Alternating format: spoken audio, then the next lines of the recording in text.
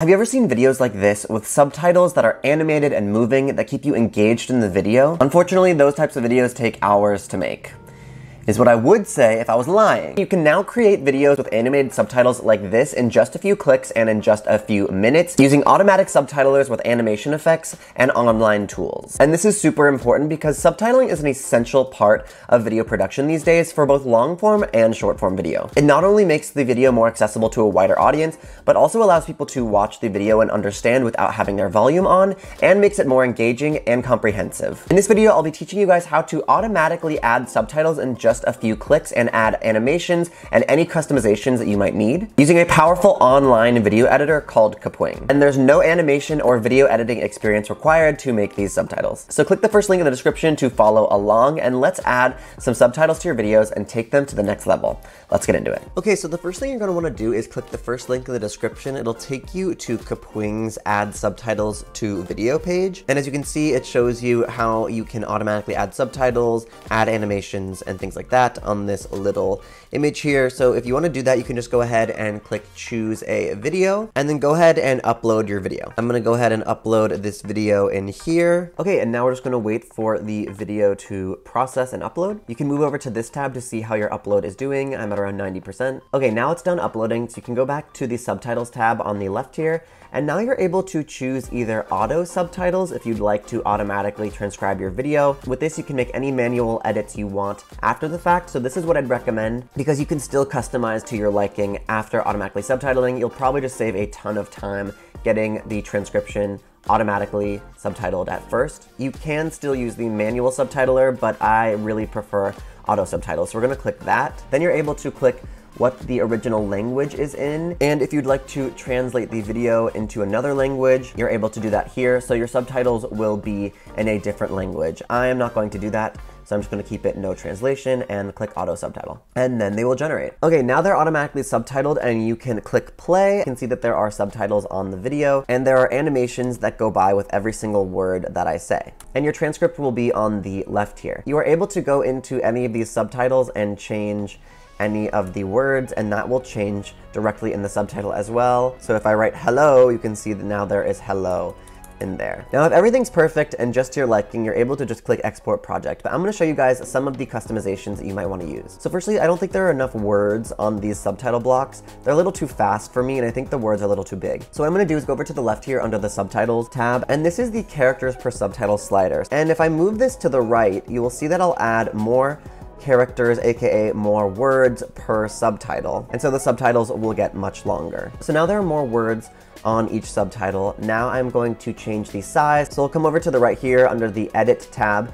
And if you don't see that, just make sure that you're highlighting the subtitles and then I'll change the font size to be lower. If you do want to manually split subtitles though, it's as easy as going into the transcript, find where you want to split and just click the return button on your keyboard. And now they are split into two different subtitles as you can see here. So that's what the return button does is it splits words into different subtitles. However, if you want it to still be on the same subtitle but just on a different line, you can click on a subtitle, put your cursor in between some words and then click click shift and return or shift and enter and that keeps it within the same subtitle but on a separate line. So as you can see, I clicked shift return in between because and subtitling, and now those are on different lines. I'll do it again over here, so in between discussing how, I'll click shift and return, and now they're on two separate lines within the same subtitle. So it doesn't change any of the timing, it just changes where the words are placed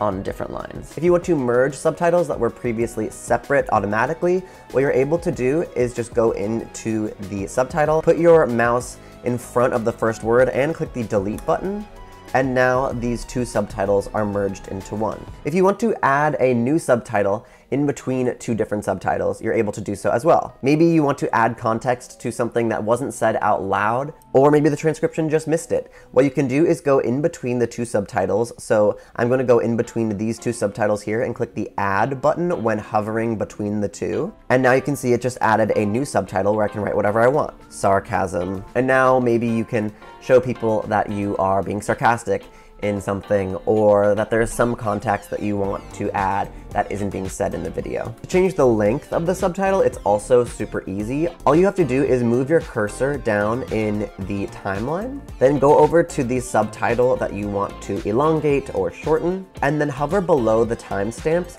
and click set to current time. So right now my seeker is placed after the end time that is indicated here. I'll go to the end of the clip and click set to current time, and now it's elongated to be at this point. And if I want this subtitle to appear earlier, all I have to do is place my seeker before this first subtitle here, hover over the beginning timestamp, and then click set to current time, and now it is elongated in the front. Now, if you just want to download the transcript and you don't want the subtitles on the video, or you want both the downloaded transcript and the subtitles on the video, you can go over to the left here and click this download button, and then you can download this transcript as an SRT file, VTT file, or a TXT file. So then you can upload that file wherever you may need a subtitle file. So now I think that's about all in terms of the transcript changing the timing, adding new subtitles, and merging subtitles into one. Now I'm going to show you guys all the different things you can do with text styles and animations. So like I showed you, you can of course come to the right side here under the Edit tab and change the size here. You can also change the font and you can use any of these fonts that Kapwing has, but you can also add your own fonts if you are a Kapwing Pro user. You can change the color, you can add background, opacity, and all of that. Something else I want to share too is that you can do inline styling. Inline styling means that all of your subtitles still look the same, so they still have that sort of preset style, but then within a single line or a few words within one line of text, they will be different from the rest of the subtitle. So in order to do that, what I can do is I can go into the transcript on the left here and highlight the words. So I'll highlight accessible to a wider, and then now you can see that you're able to change some of the styles. So you can make it italic, you can make it underlined, and you could change the color, for example. So now your subtitles still look normal, except for the word or the few words or the sentence or whatever you want that you have changed with inline styling. I also want to share some information about text styles and presets and how you can create these for your own brand kit. So if you click on the subtitles and then you go up to the edit tab, you can see that there is a text styles subheader. Now what you're gonna wanna do is click the view all button and it'll show you all of the different text styles that you can use. These are presets that you can use um, and just click and it's gonna change the subtitle preset super easily like so. And this is super great because it makes styling subtitles super consistent and super fast. So if you are a brand and you want all of your videos to look the same, you can create your own text style. So all you're gonna do is just customize how you want your subtitles to look. So, you know, change any fonts that you may want. I'll change the font to this, I'll add italics and underlines, and I'll make the text this sort of peachy. Now, when I go over here into text styles, click view all again, you can see that your custom style is right here under my styles. And if you want to save this style so you're able to quickly add this style to any videos in the future, you're able to just drag this up into the brand kit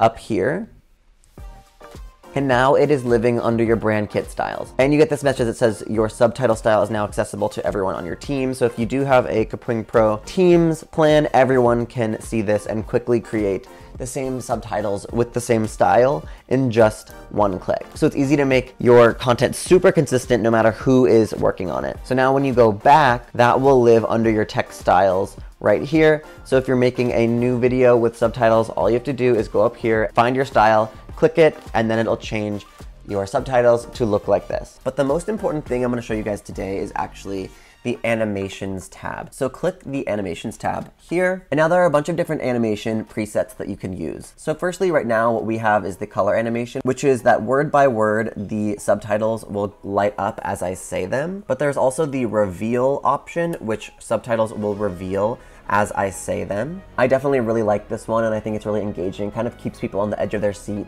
about what you're gonna say next. You can also use the highlight option, which is similar to color, but adds a uh, colored background around the word that's being said. Then there is the bounce option, where your subtitle word will literally bounce every time you say a word. You can use paint where each word that you say will turn a new color and the rest will stay that color as well. And finally, you can use custom where you can change the color of the text, what the color of the highlighted word is. You can add bounce and you can change all of this color, bounce, and highlight color for active and unspoken words, so you can really change your subtitle to be exactly how you want it to look. I'm just gonna add reveal for this video. You can also move to the transitions tab on the right here, and you can add transitions like fade, flip, or pop. The nice thing about the Magic Subtitler is that if you go and edit any of the clip, which you can do because Kapwing is a full video editor, you can edit entire videos, not just subtitle videos on Kapwing. If I go ahead and delete that, you can see the subtitle will disappear on top of it, and I can move down this layer here and the subtitles will all follow because they are exactly linked to the actual audio of the video. So if any video or audio changes are made in editing, these subtitles will reflect that automatically. So those are all the basics of subtitling. Now you can go ahead and click the export project button when you're done, export in whatever resolution or file type you would like, and then just click export. Okay, so now the video is ready to go, and you can see it has the animations, also the fade transitions, are working as intended. And now all you have to do is click the download file button once it's processed and you're happy with it, and you can post this video wherever you like. All right, you guys, thanks so much for watching. I hope this was helpful. Make sure to subscribe to the channel to join an online community of modern creators and to keep up with other tips and tutorials like this one, and I'll see you guys in the next one.